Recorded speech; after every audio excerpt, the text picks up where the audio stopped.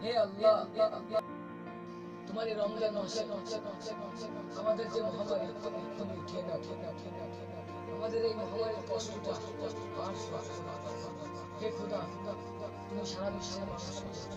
সারা বিশ্বে সারা বিশ্বে